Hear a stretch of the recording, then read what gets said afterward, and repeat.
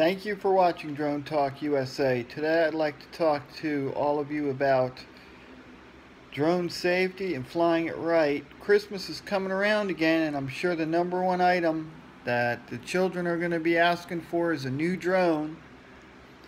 Uh, parents, please know the rules so that you can pass them on to your children. Uh, upon registration, you'll get a list of rules that need to be followed, but here are just the basics so you know. Uh, don't fly above 400 feet. Stay five miles from an airport.